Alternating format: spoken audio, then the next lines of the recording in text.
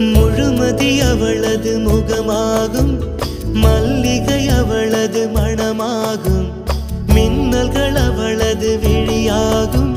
மௌனங்கள் அவளது மொழியாகும். மார்கழி மாதத்து பனித்துளி அவளது குரலாகும். மகரந்த காட்டின் மான் குட்டி அவளது